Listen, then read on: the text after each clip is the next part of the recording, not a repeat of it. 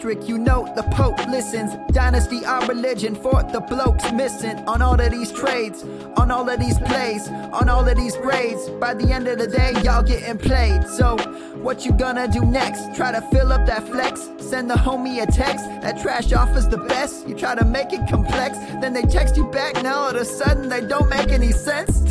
Broaden your horizons, boy. Dynasty's not for the Simons, boy. Trades not for consignment, boy. Respect your opponent, y'all some piranhas, boy. This my advice from me to you.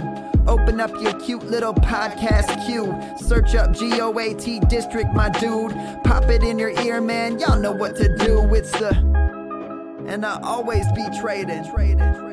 And I always be trading. And I always be trading. Y'all try to betray them, but first you gotta bait them. Fish, fish, fish. Welcome, Fantasyland. We are back again, and we are trying a. Oh, it looks like we're live, guys. You know what? Well, why not? Let's just do it. Do. Let's just do it live. Why not? Um, so, Dan, before we uh, we get to our guests, uh, it, it's it's different doing vi- visual because I can't even like you know tease the audience. It's they, they just see him on there. But I got to ask you about your trip, man. You uh, you were out there in the wilderness with the girls last week, and I want to I want to hear a bit about it. Yeah, so it was uh, it was a little bit shorter trip than usual uh, in in amount of time. Uh, still went a pretty good distance. We went uh, about forty five miles um, down a, a river that's fairly wildish. Um, you know, there's some cabins along the way and things like that. But uh, you know, for the most part, when you're on the river, you're you're on your own. Um, campsites few and far between. You whatever you have with you or whatever you bring is what you have. I mean, you know, there's no anything you know at the campsites or anything like that. I mean, you know, you've no electricity, no nothing. So uh, you know, if you want it, you brought it with you. Uh, some couple heavy duty portages to start in the trip. We had a, a, mile one pretty early into the trip, and one that was about three quarters of a mile later in the trip. Uh, and it was uh, the weather was not great.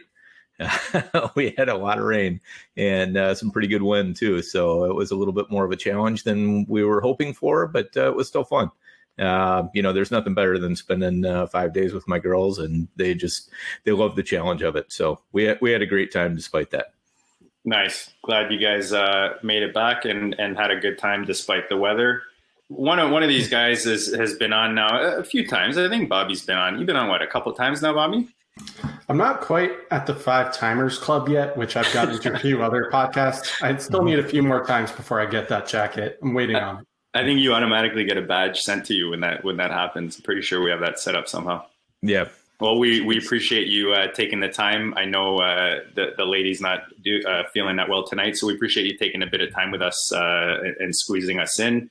And uh, we bring your buddy in. You you told me that you're not a zookeeper, but you know you you kind of you're kind of the zookeeper on on the, the ZooperFlex, right?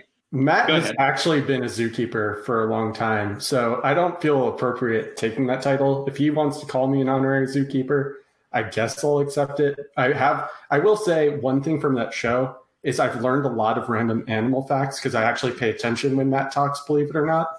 And so I'll be watching like Jeopardy, and something will come up about like okapis, for example, and I'll be able to answer it. And my family's like, "Where did he learn that?" I'll be like, "Well, kind of a weird story, but I host a podcast with a senior zookeeper at the San Diego Zoo." And then they're just like, "Okay, that's weird, but cool that you're learning."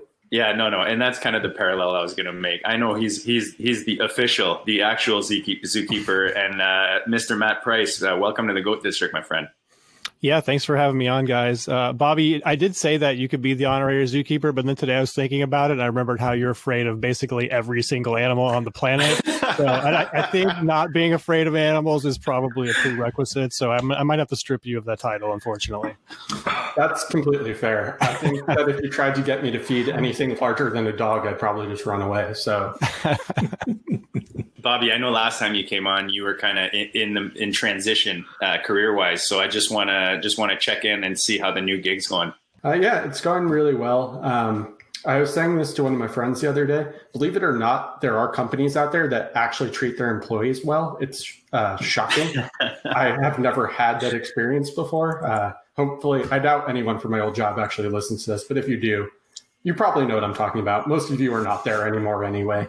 Uh, so, yeah, it's great. And I'm really happy to be in the new position. And it's nice to see all the work that I put in in grad school pay off. Maybe one day I'll be able to afford a car as nice as Dan's. If you haven't seen Dan's car, make sure you check that out. I mean, uh, it, it's kind of like coming out of that relationship where, where you maybe you weren't treating so well, and then uh, mm-hmm. you find that person that uh, is on the other end of the spectrum, and you maybe appreciate it a bit more. So I'm glad to see that you're back on track and uh, feeling uh, appreciated. Matt, I didn't give you the proper intro, man. You, uh, I, I, told you earlier, just hearing your voice to me, there, there's like a, a, comfort almost to it because I've listened to you for so long. And uh, you are the DLF uh, senior writer over there on one of my favorite sites that, and you know, a host of one of my favorite podcasts with regards to the DLF Dynasty podcast. And it's kind of like what I told Izzy when he came on and JP. Uh, you guys, uh, you know, are kind of the uh, inspiration behind the Goat District because I'd finish the pod at the, you know, the epi and I'd be like, man, I want to hear more. You know, I want to hear more about player value and, and trades and, and all the good stuff. So uh, appreciate you coming on tonight and, and taking time with us as well. Yeah, that's uh, really nice of you to say. Uh, I have a very hard time accepting praise in general, so I, I, appreciate it. I feel like I'm still nobody in this industry. I'm just happy to be, you know, be in the room where it all happens and get to talk to, to Dan and Ryan all the uh, every week. You know, uh, Ryan obviously is he is dynasty fantasy football, right? So to be able to have the access to him and and and really to be able to call him a friend at this point uh, has been really awesome. So I appreciate all the kind words, though. Bobby, I'm going to go back to you because I heard recently. I don't know if it was on the the ZooperFlex that I heard it, but you recently dropped Pop and Juice, which are two things that I just probably haven't had in a couple of decades. But uh, how's how's that going for you, man? Wow, we're really just getting into the entire details of our personal lives, huh? I guess I guess at this point I should also note that I am closing on a house on Monday, so now nice. everyone just knows exactly what's going on. nice. we, um, we, just need access to your latest physical, please. no, Bank account uh, info. It's going pretty well. I've uh, since we're getting we're, we're getting nice and personal here. I've dropped uh, eight pounds since the beginning of July, so nice. I'm pretty That's happy awesome, with man. that.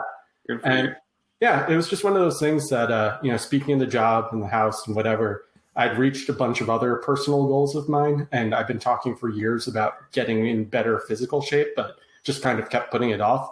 But it remained one of the few goals that it felt like, okay, I haven't accomplished this yet, and I've accomplished a bunch of others. Probably time to dedicate some time. I will say, growing up the son of a baker who my mom owned a bakery for 20 years, it's really hard to give up dessert and sugar. But and so the first week or so was rough, but since then I've been doing pretty well, and appreciate you asking. Yeah, no, that's awesome. I I, I found it interesting because I always think for uh, someone who wants something that's not, you know, it's easy for me to say it's not it's not uh, difficult, but you know, it's kind of a, a, small step that you can take is eliminating you know the juices and the pops, and and it'll it makes a pretty significant difference. So I thought that was interesting. Uh, since we're getting personal, I got one more for, for Matt. I want to know from one to 10, like, how scared are you to have a new roommate, buddy, coming in? yeah, here we go. Personal information. Yeah, uh, my, uh, my, my girlfriend of about a year now is, is, is moving in, just kind of worked out timing wise where uh, her landlord is selling her house and my roommate's lease is up. So uh, we're taking the, taking the jump. I'm excited, but certainly nervous about it. Uh, it, it before the roommate, I lived by myself for, for a while and that was really nice. And it seems like that's not going to happen again anytime soon. Uh, so, but no, I'm really excited about it. Uh, we're, I, am kind of crazy about her. So uh, I'm excited, but you know, nervous. It's a, it's a big step, man.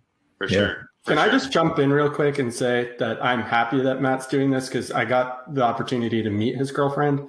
And if he messed this up, I probably would have had to fire him from our show because it shown horrible decision making.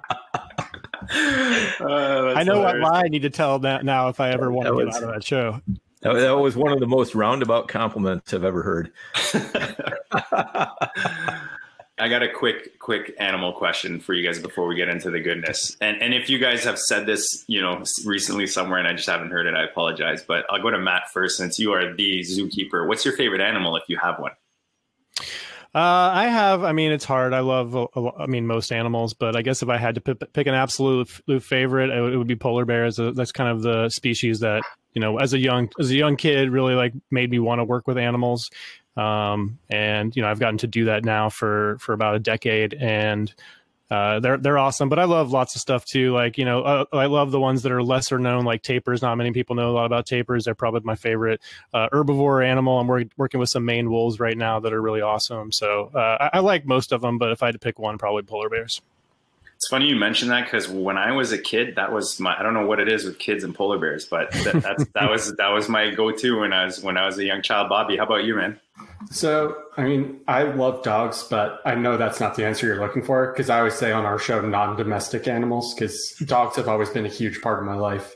It's going to be a boring answer, but much like you guys, when I was a kid, I had a polar bear toy and I actually made a cape for it and I called it Super Bear. And I flew it into another kid's diorama because it was a cave. And I thought, oh, this makes sense. And then I destroyed their diorama. So just a quick backstory there. Um, but I've always kind of loved polar bears, and like Matt, uh, I didn't go into zookeeping because of it, but I have donated to charities related to helping polar bears, and now that's extended out to more just in general extinct or going extinct animals. Dan, you're gonna make this like a like a sweep with the polar bear, or what? Can I, can I say polar bear? Um, yeah, absolutely. Uh, it's it's tough for me to pick a favorite. I mean, I've I've always enjoyed uh, you know all, almost all the animals. I mean, I've you know I've enjoyed learning about them. Uh, I, I, love going to zoos. You know, it's something that interested me. Like most other kids, you know, you you, you want to find out about the cool animals and all that. And it always seemed to me like Africa had the most cool animals. And then you know, if you start looking at the animals of North America without the you know with the idea that you'd never seen these things before, you realize we have just as many cool animals as Africa. It's just you know that we're used to them. But my my favorite is probably right now I would say uh, the moose, just because it's a, it's such a symbol of uh, the area I love. You know, northern Minnesota, Ontario. Good old Canadian you know, when, boy, you, when, you see, when you see when you see moose, you know you're north, and uh, you know they're they're a little they're a little bit more um, sensitive to the environment than a lot of people give them credit for. So they're they're also a little bit of a telltale for the. Uh, hey, there you go, Paul Bunyan. Yeah, go, go ahead. ahead. No, I was just gonna say they're also really rare. Not, I guess not really rare, but they're fairly rare in zoos as well. Uh, mm-hmm. One of my b- best friends is uh, a VP of animal operations at Cheyenne Mountain Zoo in Colorado, which is an incredible zoo. Maybe my favorite zoo I've ever been to. It's up on a mountain. The views are just incredible. But he, his job last week was to drive to Alaska to pick up an eight-week-old moose and then drive it back to Colorado, and has been bottle feeding it for the last wow. couple of weeks and stuff like that. So, oh, wow. uh, yeah, moose are awesome. That's actually a good point. Yeah, you don't really see them often in, in a zoo. That's a really good point. Yep. Yep. All right, guys, let's get into the goodness. We got personal. We talked animals. We talked about Dan's trip. We got we talked. We, we we went around the globe there. So well, real quick, JD, I did have something to say about Dan's trip. He took that trip because he wanted to make sure his girls saw him at least one last time and respected him. Because once I see him in jorts, it's over. Well, you know, if you've seen my camping clothes, the jorts are probably a step up from that. I should have kept the air horn for that I'm one. Just, yeah, I'm just gonna say, uh, yeah, they, have probably seen worse.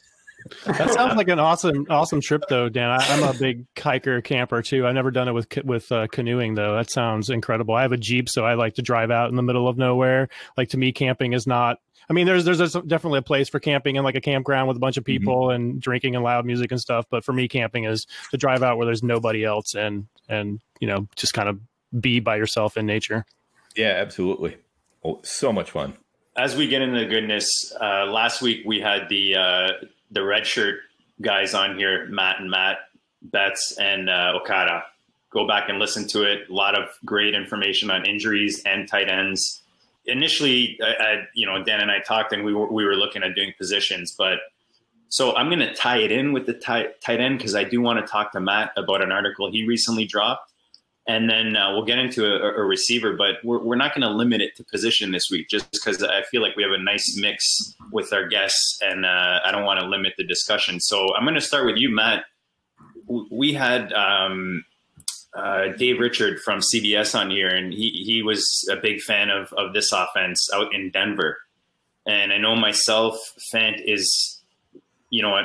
I'll let you talk about your article, but I read it and it and it, it articulates really well how I feel about the player. So, you know, let let the people know uh, where the, where they can find it because you put out some amazing material. Uh, this is one example of it. It's a great article out there on DLF, and uh, let the people know maybe what uh, conclusion you came to uh, with the article.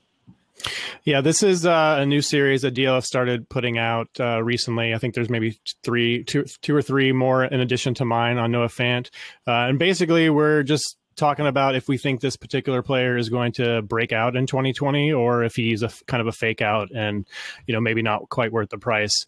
Uh, and I guess I'll start start with the with the spoiler alert I guess uh, and that, that's that I think he is a fake out uh, for a few different reasons. Um, I do I definitely like the player. He was my tight end one last year in that rookie class you know just over over TJ Hockenson, um, and I probably still probably prefer him a little bit over Hockenson um, just because of health issues and you know um, some other things with Hawk. But uh, I do think he's a fake out mostly because of of the offense that he's in and the, and the players around him. So the the, the the kind of the hypothesis for this article, and I, I kind of made an ar- arbitrary cutoff because you got to make a cut cutoff somewhere. And I've always kind of felt like, and I think the numbers bear out that to be a back half tight end one is is really not that impressive, right? You can find these back half tight end ones anywhere. If you if you catch one pass for one for a touchdown, you're probably going to be a back half tight end one on the week, right? So for for the for this for this particular article, a categorization was if Noah Fant is going to be called a breakout in 2020, he needs to finish as a top top six tight end. Um, and I just can't see that happening with the weapons they have there. You know, we have still have questions about Drew Lock, who's a great deep ball thrower, but you know, he doesn't really hit those uh, those those short intermediate passes very well, uh, which is weird. It seems like those should be the easier thing for a quarterback to do, right? But for some some reason, he is he struggled with that in his first season. So, uh, and and you know, that's where a lot of the targets for the tight ends are going to go. If Fant does have the athleticism to get deep, and you know, he showed that last year, absolutely. Um, so he can have that if he catches catches a few long touchdowns, and he could absolutely be a top six tight end uh, next year. But just looking at the last four seasons uh, of, of data of what we've seen from from tight ends, it, it doesn't really seem like Fant can get there uh, because uh, out of uh, 24 total op- opportunities over the last four seasons to be a top six tight end. 67% or 16 of them led their team in targets. And then an additional 29% or seven were second in, on their team in targets. And then, you know, just 4% or one tight end, Austin Hooper, was outside of the top two targets to finish as a top six tight end. And with the addition of Jerry du- Jeudy, you know, I just I, I, cannot see Fant eclipsing Jerry Jeudy in targets, even in a rookie season where he's going to be compromised with with the COVID situation and not getting into the game plan and all that noise. But I, I can't see them not wanting to get him a heavy dose of targets.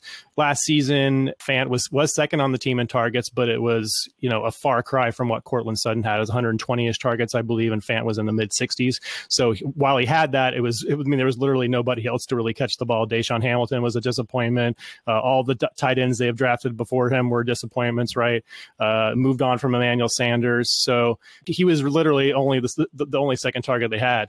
You know, and, and, and if you want to stretch out a little bit more, uh, you know I, I, think that Albert O is a little bit underrated. Obviously, a very athletic tight end in his own right. Has a connection. Played with Drew Lock in college, where he caught, uh, I think, was 17 touchdowns over the two seasons with him. So he's absolutely a touchdown threat, uh, and could be that in year one if they're able to kind of restore that chemistry. Uh, so Fant could lose some touchdowns from there. He's going to lose targets to Jeudy. He's, in my opinion, I think he's at best third in the pecking order for targets. And, you know, I think you can make a case for Melvin Gordon in there somewhere as well, you know, a very good receiving back. So I just, I, based on his price right now, which is tight end seven in July ADP, I mean, you, this is dynasty, right? So he doesn't have to hit a top six tight end next season necessarily, but what's his situation is not going to change, right? If Drew Lock is good, then sure he'll be there. But if he's not, we're going to be starting with another new quarterback and Jerry Jeudy and, and Courtland Sutton, they're not going anywhere. So I just don't see him being able to hit the, you know, the, the that threshold of being a top receiver of targets in an in that offense, or the second best, uh, the second most targets on offense for really, you know, basically the entire rookie contract, right? So for me, paying a tight end seven price for Noah Fant is just a little bit too much.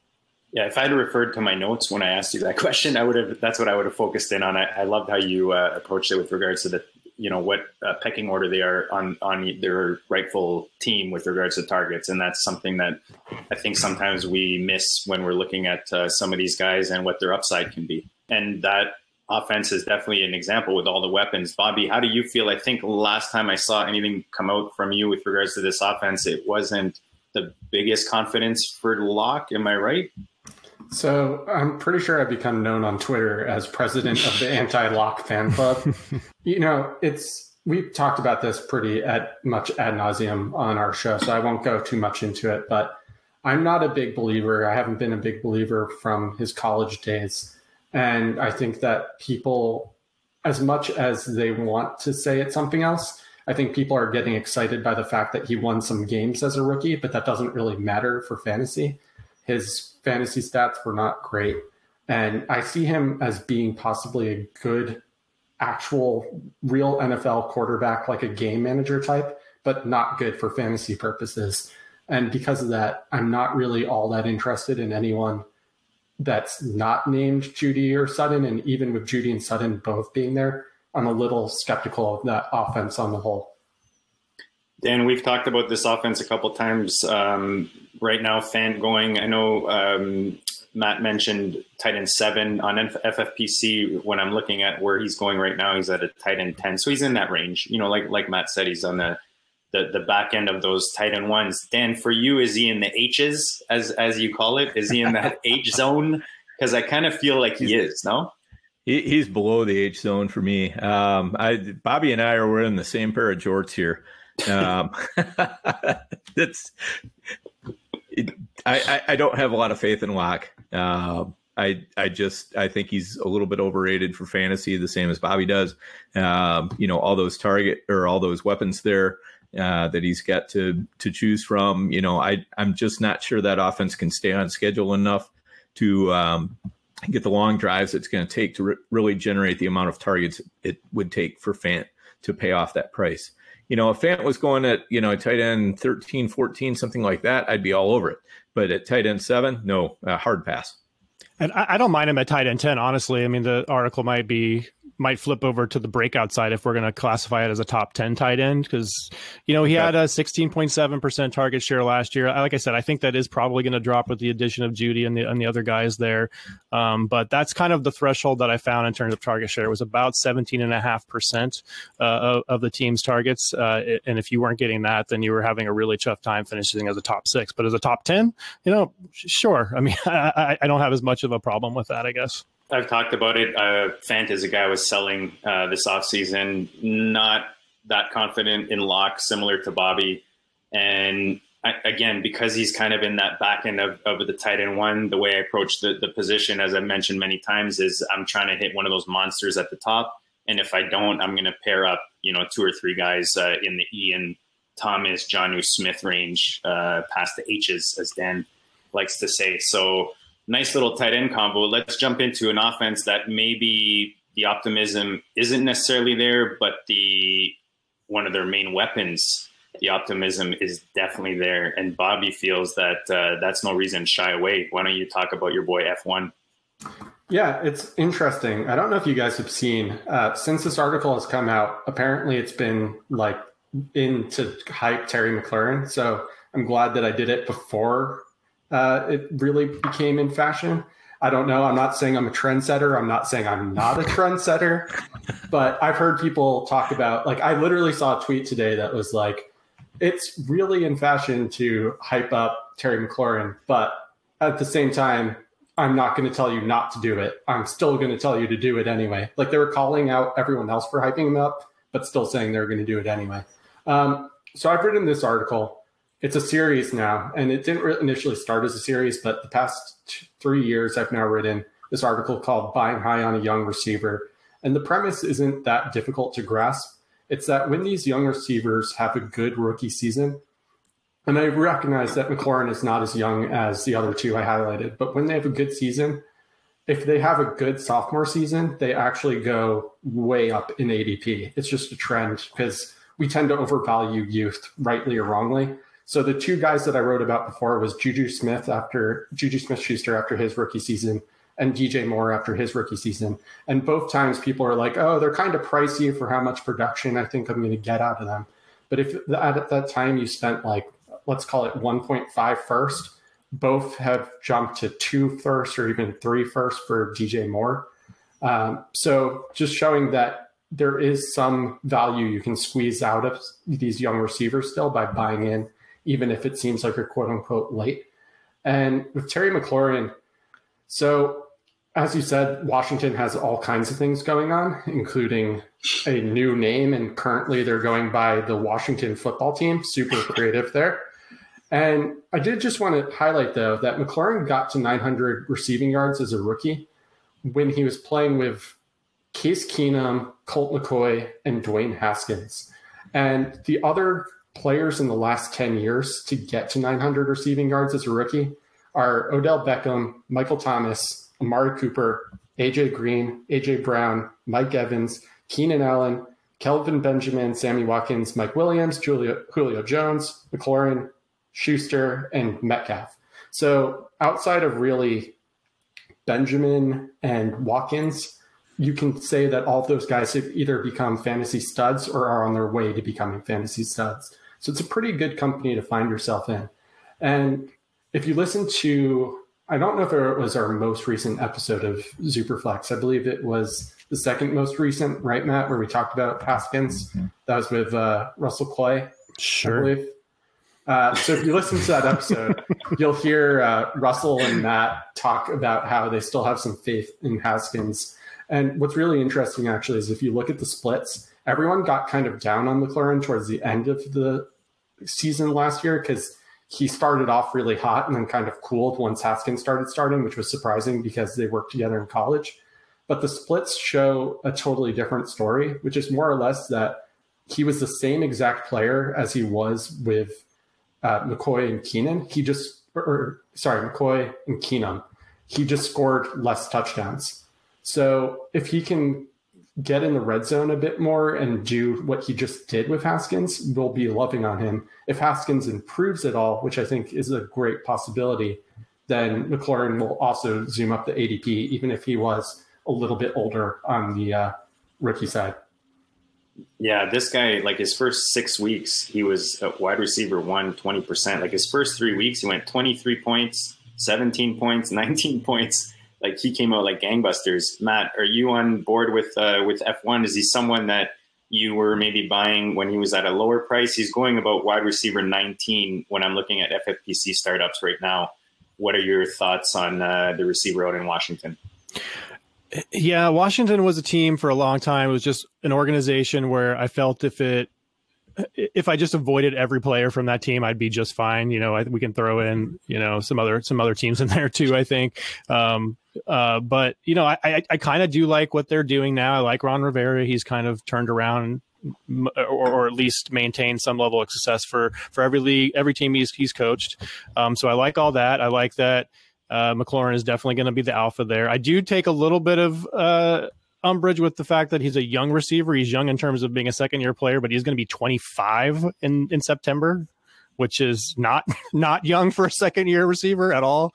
Um, uh, so I think he's. I think he's. I, think tight end 19 is like right. Is pretty perfect price. So I don't know if I would really necessarily be buying him at this time. I do think there's enough questions still with that team in general that uh, while he's going to get the he's he's going to certainly going to get the targets. He's probably going to I, I, would guess be in that 120 plus target range this year, depending on on if Haskins can take over that job. And and I mean for me that's another concern. We, we've talked to death. Ryan McDowell in fact put out a tweet today about hey have you guys heard that that COVID situation might affect the development of rookies. And uh, you know, Haskins isn't a rookie, but you know, another a, a full off season as the as the starter would have been very beneficial to him. I think so. Mm-hmm. He's not going to get that, but he does already have that. You know, again, that chemistry back from college uh, with McLaurin. So I, I like all that.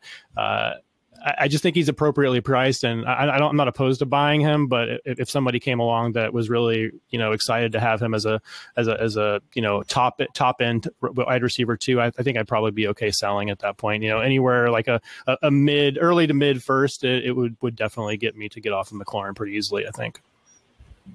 Yeah, Dan, I, I feel like we like we've done a couple startups together on the FFPC, and uh, just in, in drafts overall, I feel like he always just goes like just ahead of where I want to grab him. How how do you feel about him? I know Geis is a guy we like in that office. In that offense, is F one a guy that you've been buying or that you're interested in right now at his price? I'm kind of on the fence with uh, McLaurin just because of the fact that he, you know, as Matt pointed out, he is a little bit older than most second year players. And also the fact that he's really kind of the only game in town right now. And I don't expect that to continue long term. As far as receivers, who else does Washington really have? You know, it, it's it's hard to envision that they're going to allow that to continue. I mean, they could heck, they've even made noise about uh, signing Antonio Brown. You know, and what what would that do to uh, to McLaurin? You know, I, I I I like a lot of things about McLaurin. I like the fact that he's a he's a hardcore football player. He studies all the time. I mean, you know, he's one of those he's one of those gamers. And I never mind having those kind of guys on my team, you know, guys who just love the game of football and they're constantly studying it. They're constantly uh, looking for ways to improve, and that's that's everything that McLaurin's about. Um, you know, so I'd never sell low on him, but um, you know, if, if somebody wanted to offer me a, a really high price for McLaurin, I, I probably would take that high price. Getting attacked by fruit flies over here. Why are there um, flies in here? Yeah. See my frog tongue just like. So, what they call French people frogs? Isn't that a thing? Yeah, you, you might know that. so I actually forgot to ask Matt um, if you if you had to compare Fant to an animal, what what oh, animal would you, what, what animal would you compare him to? Oh, man, I actually did not prepare for this, so I.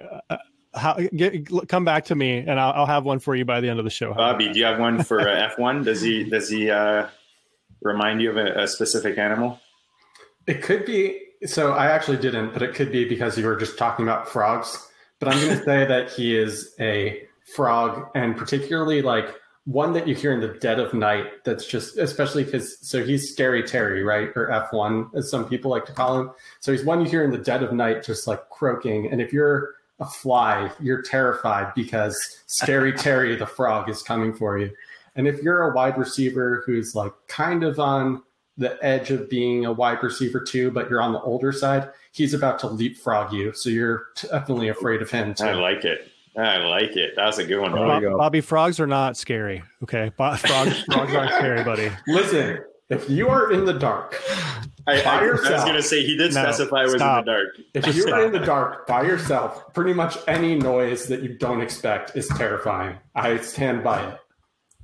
All right. Well, okay. we, we need to remember that we can't talk about to Bobby about animals and terrifying because you know he's, he's self-admitted terrified of all animals. So if it's not a puppy, it's scary, pretty much. There, there you go. Matt, I'm just checking in. You come up with anything, or should I go to the next? Let's let's come back to it. I'm, okay. I'm, I'm checking some things out. All right, Dan. We, we've talked about this site, uh, the FFPC. Man, they got two huge tournaments right now, half a million dollars. I know we've all all been cooped up. We're, we're starting to get a little loose. You know, we, we, we hopefully we're putting our masks on, but we're heading out there, getting social a little bit, keeping distance, but you know, trying to trying to let loose a bit. You know, what better way to plan than a live draft in Vegas? Dan, you know all about these. We we actually met down in Vegas at one of these uh, a couple years ago it's just a ton of fun. You can do these online and you can do them live. But uh, why don't you uh, give the people a, a, bit of a picture of that live event out there in uh, Vegas? Yeah, there's really nothing like it. I mean, it's it's just an event from start to finish. Uh, there are people that are, you know, we're we're doing some drafting on even, you know, Wednesday night, Thursday, during the day before the first game even happens. And uh, then on Thursday night, there's a big viewing party, and you know they have this giant TV screen that's just like floor to ceiling in one of the uh, convention rooms, and everybody's there. Just a great place to network and uh, get to know a lot of uh, fellow fantasy uh, fanatics. And then you get into the drafts, and they're just like nothing else because you're sitting around the table with 11 other people and it's a live draft just like it was you know when you very first started with fantasy football probably uh, you know with a bunch of your friends. But uh, you know now you're playing for you know basically a half a million dollars. So it's uh, it's very intense and it's a lot more fun when you can look your competitors in the eye rather than just kind of uh, you know be in the same chat room or whatever with them. And uh, you really you make a lot of friends i mean i went down there i, I think five four or five years ago for the first time I knew nobody basically.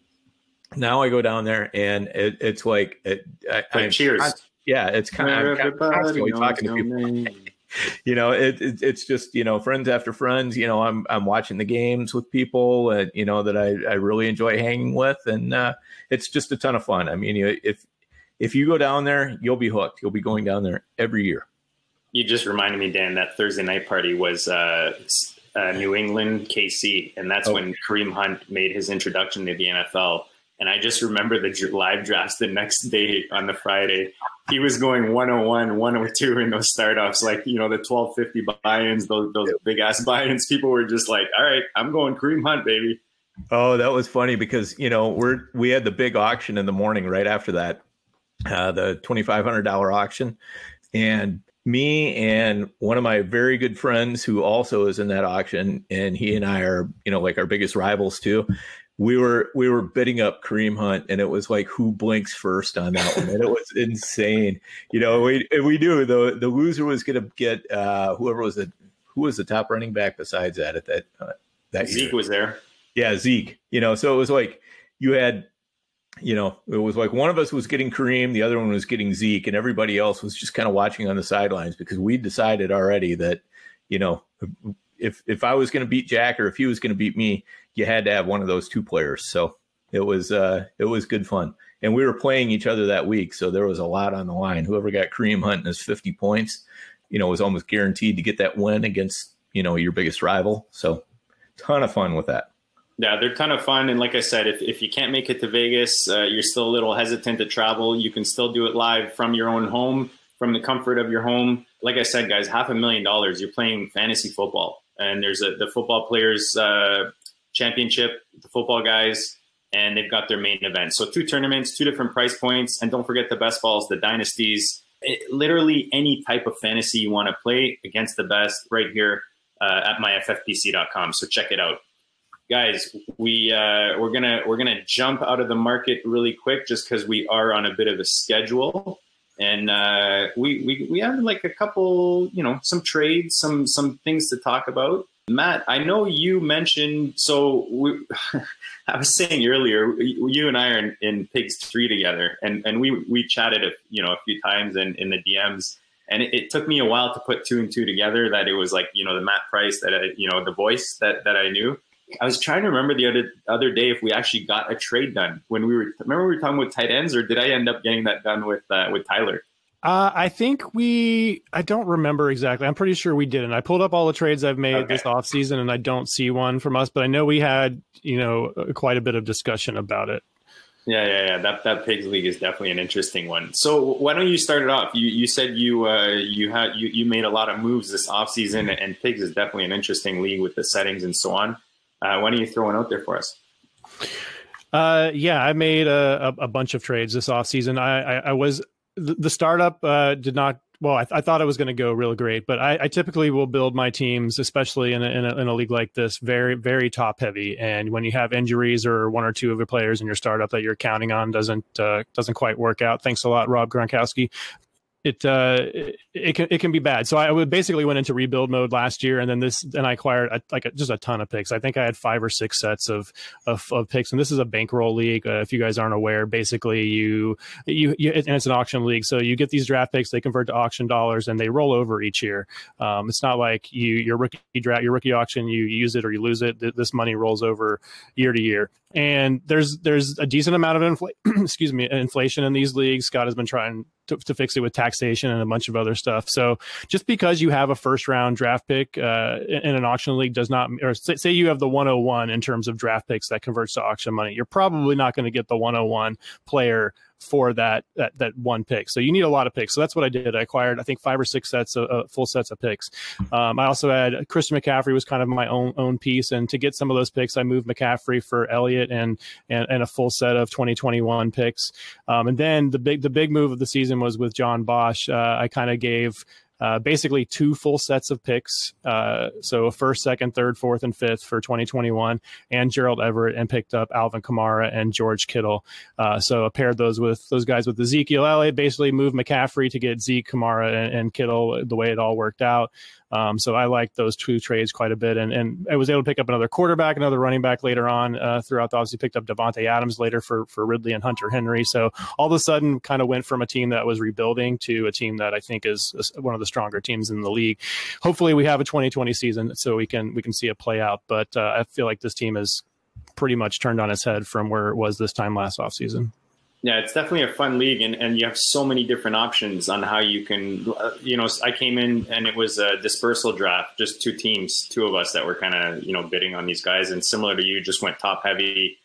Uh, got like Mahomes, you know, like pieces pieces like that, and then picked up guys when they were cheap, and they've they've built in value. But uh, I like what you did there. You like you said because of the action in this, in this league and the way the settings are, you can rebuild quickly, which I love those type of leagues. Those are my favorite type of leagues.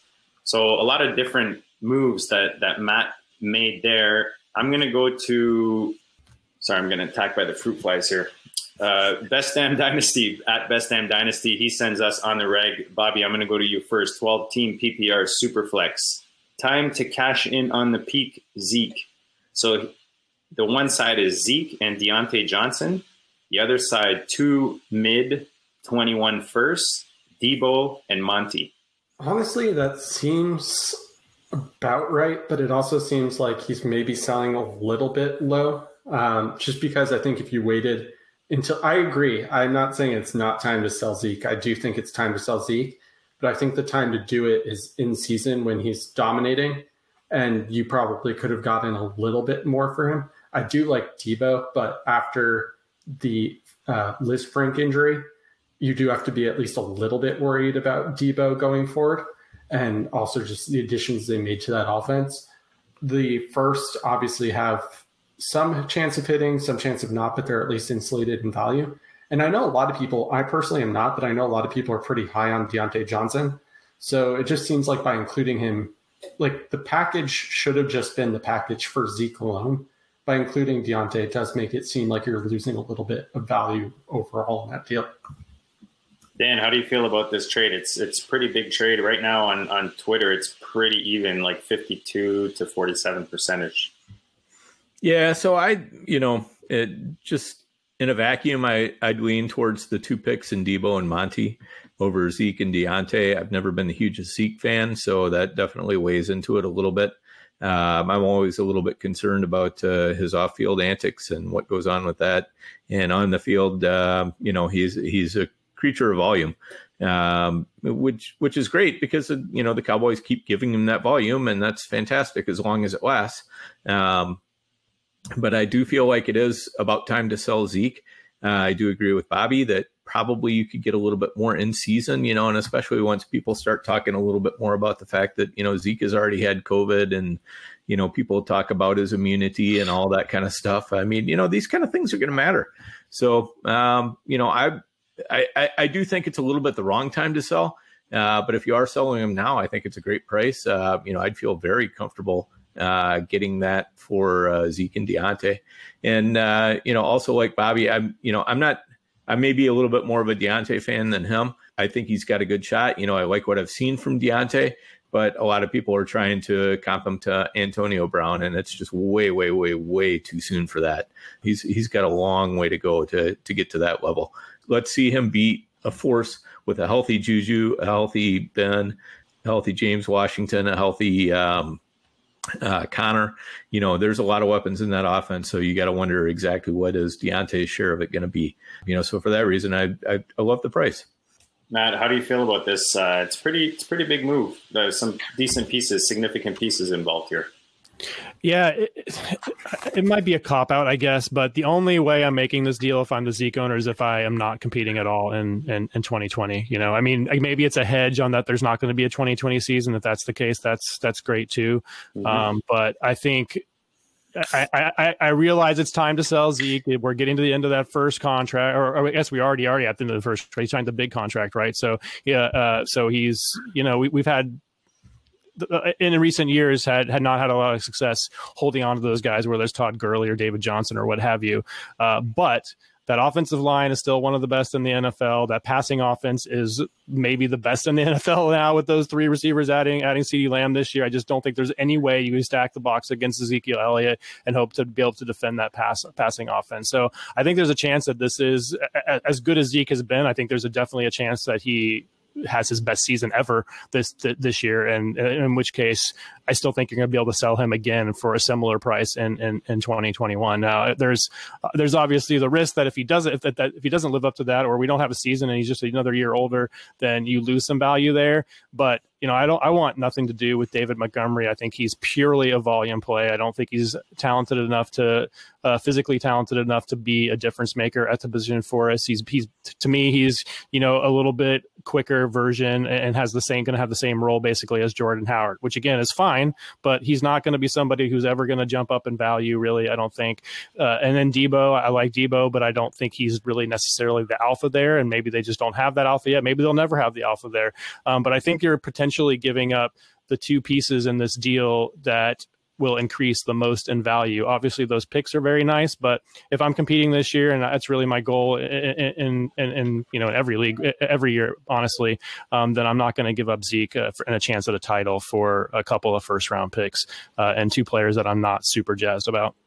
Yeah, I, I think that's the, the the key, right? Is what you're doing with Zeke. Like for me, Deebo and those 21 firsts, it's a good time to buy them right now um, especially if you believe that Deebo can be the, the stud out in that San Fran offense. Monty, I think it's just do you believe him in him or not? He's going to get volume, obviously. I think his ceiling is really capped, but Zeke is the big piece. And, and is it the question is, do you sell Zeke in this package or not?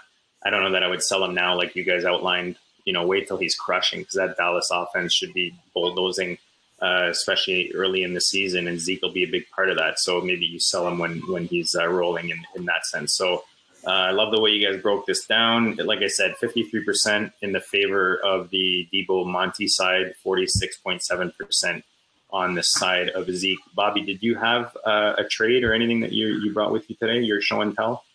Um, I didn't have a trade, but I have made trades in the offseason I can talk about. So one of them was uh, similar to what Matt was talking about. I'm in a 14 team auction league called Rec Bobby so named by John Bosch because we didn't have a name for the league, and he went such a narcissist, Bobby.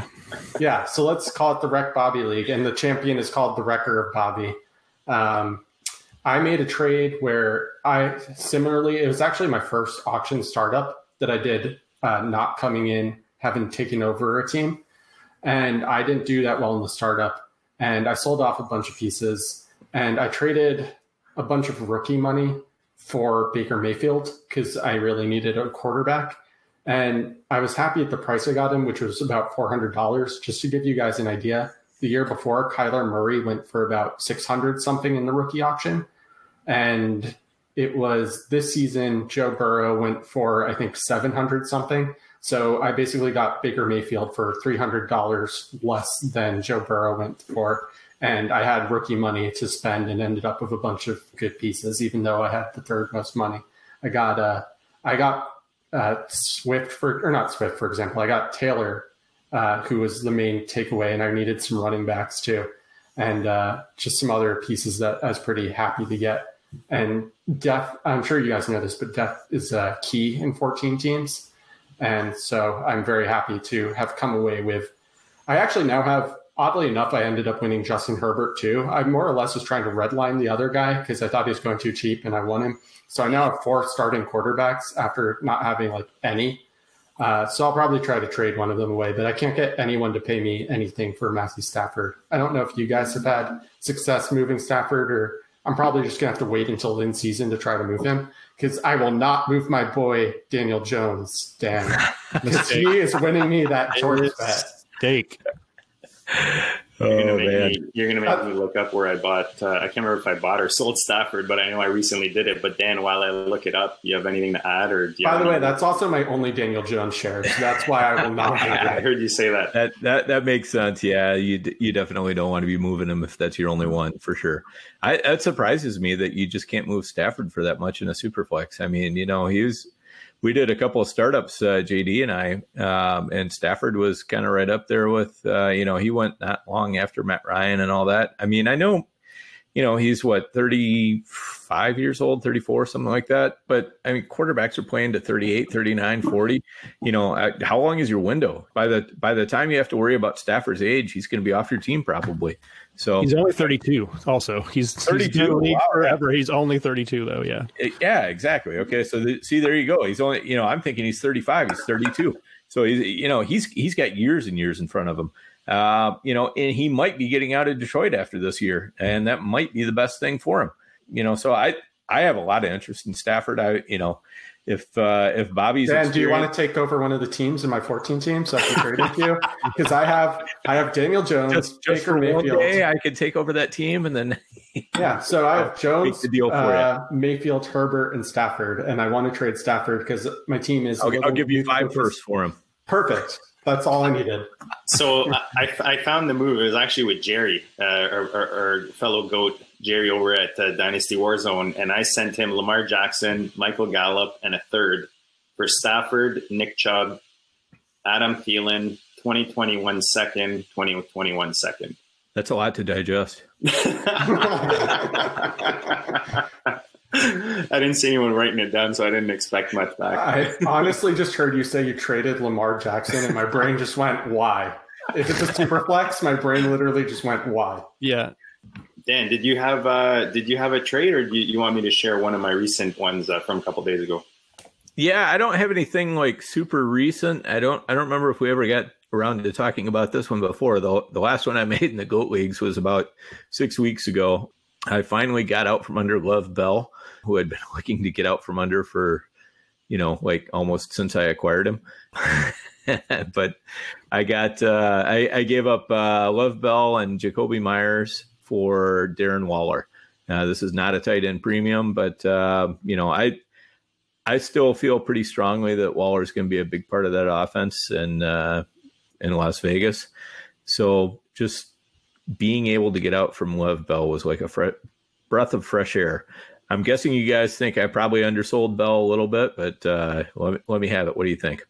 Matt, I'll let you go first. Bobby, Bobby's like, I'll let Bobby go a second. He's he's uh, he wants to pile on Dan, so we'll let yep. you go first. Little appetizer before Dan can, gets. Can you can you tell me the other pieces one more time? I'm so sorry. I was uh, so it was I, I, finalizing my animal for Noah Fant for you. oh, okay. Yeah, yes, we got to get back to that. So we have we have uh, Lev nice. Bell, Lev Bell, and Jakobi Meyers uh, for Darren Waller. Uh, I think it's fine. I think, I mean, if you if you need a running back too, there's no reason not to just I think ride Bell out. He's certainly going to get the volume. Um, Waller s- scares me a little bit, you know, just because he's a one year guy and they've added a bunch of weapons. But if you need a tight end, I don't think that's I don't think the value is off at all. I'm totally fine, totally fine with that deal. Jakobi Meyers is, you know, whatever. Maybe maybe he hits, but pro- he's pro- probably not. So yeah, uh, I think that's fine. Yeah. Bobby, I know you were like chomping at the bit. So what, what's not, your take? Champion. Not really. It's more just uh, I got so I had a startup this year, and I'm trying to pull it up real quick. I got a. Of course, the transaction history is not showing up, but I got all I know is I got Bell like incredibly late as my RB three, and I'm kind of with Dan that you should be selling, um, just because I don't believe in Gase and I don't really believe in the Jets offense, which makes me feel really bad for Sam Darnold. Hopefully he can survive Gase and get an actual coach. Um, that said, you know, Darnold didn't really play a full season, so maybe he opens things up for Bell a bit by playing a full season, hopefully. I'm not a big Waller guy. Maybe that's why I was making a face because it's just hard for me to buy into these. And I know tight ends take a while to break out, but basically Waller was like the we talked about Antonio Brown already, but Waller was the like, oh, Antonio Brown thing didn't work out. Now we're left with nothing. All right, might as well try throwing to this guy. Oh, he can catch. Great. Okay, but now we're going to bring in Henry Ruggs. We're going to bring in Bowden. We're going to bring in you know all these guys that at least in this draft class a lot of people liked. And there's also just the fact that as accurate as he is, Derek Carr is still Waller's quarterback, and I know he did well last year. But if you think that Ruggs gets some volume, I just see it taking away pretty drastically from Waller. So while I'm all in on selling Bell if you can, I just don't know if Waller is the price I'd be looking at unless you're in like I'm sure I know both of you guys I believe are in the trade addicts leagues with the 1.75 tight end premium. If that's mm-hmm. the case, 100% sell Bell for Waller. If it's not the case, I wouldn't do it personally. Yeah, I, I was going to say I, I'm not a Waller guy and I'm not a Bell guy, but just based on what is out there in fantasy land right now, I'd probably make the move Dan made and I'd sell Waller before the season starts. And I feel like that stock goes down a bit. So I, I like yeah. the move for Dan. I know Dan likes Waller, so I, I, am not going to fault I, him for the move. I love the move. That's, yeah, I, I mean, I'm not as huge on Waller as as some people are, but you know, I do think he's going to have a nice early season role, and that's kind of my thought is to to roll him over after a good few point. games. So yeah, to, to, Dan's point, the whole COVID situation could make it so that the rookies totally. don't get as involved as we think they might, and Waller retains a lot of his role. That's actually a really good point. Yeah. So just two really quick one that I made uh, before we, we we close this thing out same league, very active league. One of them was with Swag, our boy Shane. He sent me, he offered me this. I just accepted it because he he's asking for Cephus, uh, Quintez Cephus, who uh, Dan and I, our buddy Noah Riddell, uh, is a fan of, and I understand the upside. But I got him at 411, and he offered me Larry Fitz and a third, 2021 third. So it was just easy, except for me. Mash, except. Yeah. And I then, had no uh, idea where we were going with this. When you begin to trade with, I was talking about Quintez Cephus. I was like, so they gave you some like waiver money. Like, where are we going with this? but it's just, you know, sometimes you get a gift, you know, that every once in a while. And I like those. It's a little trade, but oh, I, getting I, Larry Fitzgerald for Cephus is insane. I know Fitzgerald is old and whatever, but that's just insane. Well, and a 2021 third too. Yeah. Oh, I have to pay you on top of this for a guy that probably belongs on the waiver wire. Uh, hey, Shane, I, I, love you, buddy. Do not talk bad about Quintez Cephus. We can yeah. about that if you want some other he's, time. He's got opportunity, man. That's for sure out there in yep. Detroit. But so the other little move in here with my boy Nate at uh, Nathan underscore Pilmer, fellow goat, he sent me my boy Fuller, who I'm crushing on right now, and a third for Ryan Fitzpatrick in a second and I'm loaded at quarterback. Like I've got a million quarterbacks, so that's why I, am kind of moving Fitz while he's uh, still got a leg left. You guys have any thoughts on that? My thought is you're making me regret having sold Fitzpatrick for like a third round pick, thinking, okay, I'm getting out on this guy because I'm getting whatever I can before Tua replaces him. And here you are getting Will Fuller for him. I'm clearly doing something wrong. Why? Why would you want to sell that which can never die? I mean, Fitzpatrick just he he keeps coming back more often than the you know like a a Friday the Thirteenth movie or something like that. I mean, you know, you you keep thinking, okay, it's finally I I I killed it. I ended this thing. You know, the the long nightmare is over, and then here comes Freddy again. You know, it's like this guy just keeps popping up on new teams or keeps popping up on the same team. I mean, you just can't keep him down. He's just it, it, no matter what you do to Ryan Fitzpatrick, he is going to come up and he's going to start. That's all there is to it. That's all you need to know. And he's going to do it again on another team. There's no way. Right.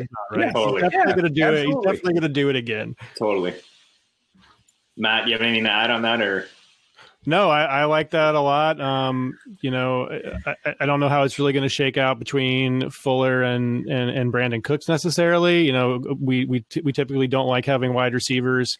Uh, you know, their first year on a new team, they they they they tend to to drop off. But I don't think we can necessarily count Cooks in that. You know, he had uh, I think it was three, four, three one thousand yard seasons for four different, or the, the other way, four one thousand yard seasons in a row for the three different teams, something like that. So he has shown that he, the ability to to jump in on a new team and uh, you know grasp the playbook, I guess, right away and gel. And obviously, he has a, a great quarterback there. So uh, you know, both of them obviously have their concerns. I think what is it, five concussions for Fuller, uh, or sorry for for Brandin Cooks, and we know the the to deal with with Fuller's injury history, but you can't deny the the chemistry and the rapport that they clearly have together, uh, Fuller and, and, and Deshaun Watson. So uh, it'll be really interesting to see how that offense works out because then they have Stills too, another deep threat who you know he can, I think he can do a little little bit more underneath uh, than the other two can. Um, but uh, yeah, uh, they're they're stacked for that deep ball this year, um, and it'll be interesting to see how they work out. And I like Fuller as a buy. Now I was very anti Fuller coming out. I didn't really like his hands. I, you know his his his, his skill set seemed pretty limited, but you know where he's going now uh, in terms of price in the was seventh eighth round something like that. I, I think that's a much more palatable price than we were paying even just last year. Yeah, and that's that's kind of it, right? That's where where his price is, Bobby. Uh, I was just gonna say to Matt's point. I so I've always loved Brandin Cooks. He was uh, one of my first dynasty rookie drafts picks, and since then I've just kind of been in love with him. And this offseason, I bought him for like a bunch of mid seconds, which I'm pretty happy with because if he emerges as Deshaun Watson's top guy, that's gonna just make that price boom. And I also have a ton of Fuller, so one way or another, I think I'm gonna be happy. But watch them both get hurt, and it be still show. Yeah, that would hurt Dan and I because we're loving the, both of those guys at their price right now. And, and, I just need to let JD know that uh, I do own Fuller in the OG, and he is available. So, all right, know, well, come we'll come at talk. me, bro. We'll have to talk, brother. So Matt Price, uh, like I said, man, one of my favorite voices. Uh, one, probably one that I've uh, listened to uh, longer than most, and uh, I appreciate you coming on tonight, man. You're you're now one of my favorite dudes, and, and one of my favorite league mates because uh, we we have some pretty good convos in that pig chat. So I know you've got your animal ready. So before you tell the remind the people where to find you and all the good stuff, tell us your uh, your Noah Fant animal. And I got one more thing to add to that. We do something called OTC over here. I'm going to give you Noah Fant or Waller. Which one? Which way are you going to go? Oh, geez. Uh, I think just on age, I would go. I would go Fant there. Um, but for 2020 alone, probably Waller, to be honest with you. Um, and, and, for the animal, I am picking a uh, a milk snake. That sounds weird, I know, but there are these animals that mimic uh, other animals that kind of make themselves look bigger and scarier than they than they really are so Bobby would probably be fooled by this by this snake too. Uh, uh, I don't know if you've ever heard of a coral snake before, but they're very prevalent in uh, more tropical places. Uh, when I lived in Florida, they were they were a concern there. Um, very venomous snake, uh, and the way you kind of know you're looking at a coral snake is re- there's a there's a rhyme. you might have heard of red, yellow, kill a fellow. If you see red touching yellow, then it's then it's a um, a coral snake, the, the dangerous one. But milk snakes, they mimic them and they have red next to black. So friend of Jack is is the saying. So Fant is is really harmless, but he's but he's mimicking a, a dangerous tight end for 2020. Um, so he's a milk snake. Wow, that was awesome to learn. I, just gotta, I, I, I just gotta I'm say, blown away. I'm thoroughly yeah, impressed. That is awesome. I am. Uh, I'm very self-deprecating because I'm not as afraid of animals as I make it out to be. But Matt did pick the one animal that I'm legitimately terrified of. Snakes is like I will freeze up if I see a snake, or if you even mention there's a snake in the same area as me. Bobby, uh, remind the people where they can find your goodness, and uh, we appreciate you coming back, brother. Yeah, of course. Uh, so you can find both Matt and I on the Zooperflex pod, which we've referred to a few times. That's at Zooperflex, Z O O P E R Flex. And you can find my work when I write. Lately, I haven't had as much time as I'd like. Uh, Dynasty League football. And as always, you can find me on Rek Fantasy on Twitter. That's R K E V Fantasy. And despite what I was talking about earlier with that league, I'm not a Twitter tough guy as much as John Bosch would like to sell you that false narrative. I, I was going to say earlier that that move I made with Fitz, uh, John Bosch is a guy that that trained me a bit on on pairing up picks with pieces that you want to move, and that that's kind of where that Fitzpatrick move came from. So shout out to John Bosch with, with that. Dan, uh, we're, we're, glad to have you back, brother. As as we do on the weekly. I mean, the guests tonight were just, just oh man, just blowing it up, and uh, with the info. remind the people where to find you and anything else you want to share before we close it out. Yeah, we are on a roll with Gus, aren't we, man? It's it's just incredible.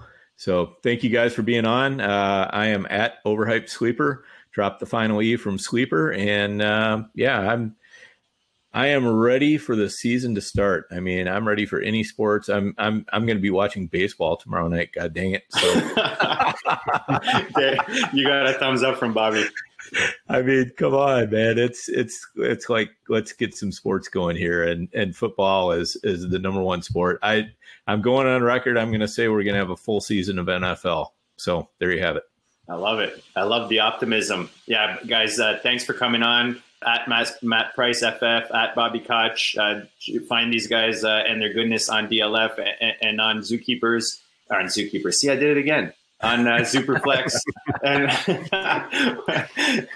we appreciate you guys tuning in uh, and sharing the goodness with us on the weekly. Make sure you go to myffpc.com for all the goodness with regards to the best site to play fantasy. Tag us on your trades, man. Whether it's at Overhyped Sleeper, no E on the end, at Goat District, hashtag always be trading. If you're on the Instagram as the IG, as the kids call it these days, the IG, it's Goat District FF. You can find uh, trades, all kinds of stuff on there, man. Keep wearing your mask. Try to keep it please. safe. Keep it kosher. Please, please wear those masks and uh, be safe, be happy, and we'll check you all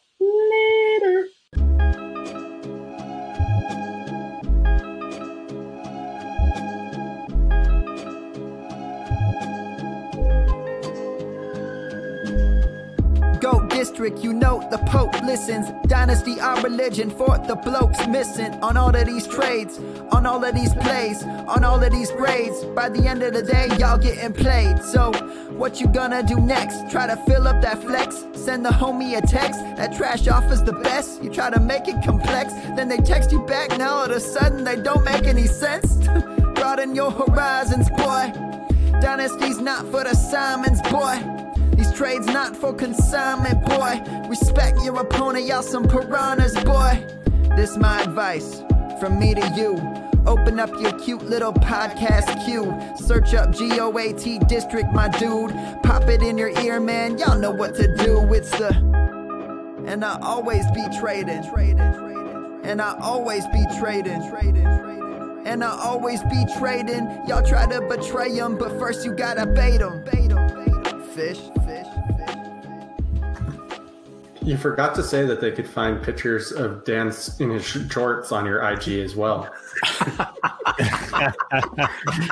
we gotta get a we gotta get a uh, Twitter handle for that.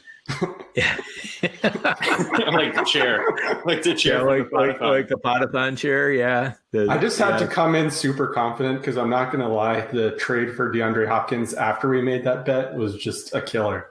Yeah. So now I now I just need to hype right. I forgot that happened like, after.